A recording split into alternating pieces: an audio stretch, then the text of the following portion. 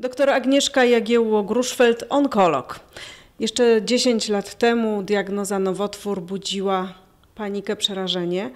Czy tak jest też teraz? No oczywiście choroba nowotworowa zawsze jest e, jakimś tam przeżyciem e, i nikt tego nie bagatelizuje, ale myślę, że już e, jest zupełnie inne podejście w tej chwili do choroby nowotworowej, bardziej takie, mm, znaczy może mniej emocjonalne, bardziej racjonalne. Traktuje się tą chorobę nowotworową tak jak inne choroby.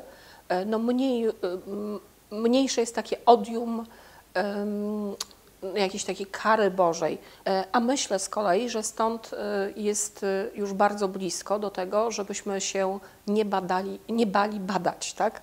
Bo generalnie ciągle jeszcze mało na przykład kobiet robi sobie regularną mammografię screeningową, mało kobiet chodzi regularnie po to, żeby sprawdzać sobie cytologię.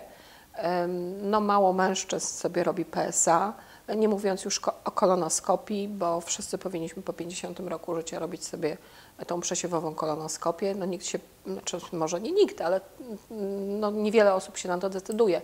Natomiast e, to, że właśnie zmniejszył się ten poziom lęku przed chorobą nowo, nowotworową, myślę, że spowoduje, że więcej nas, Polaków, zacznie się po prostu regularnie badać.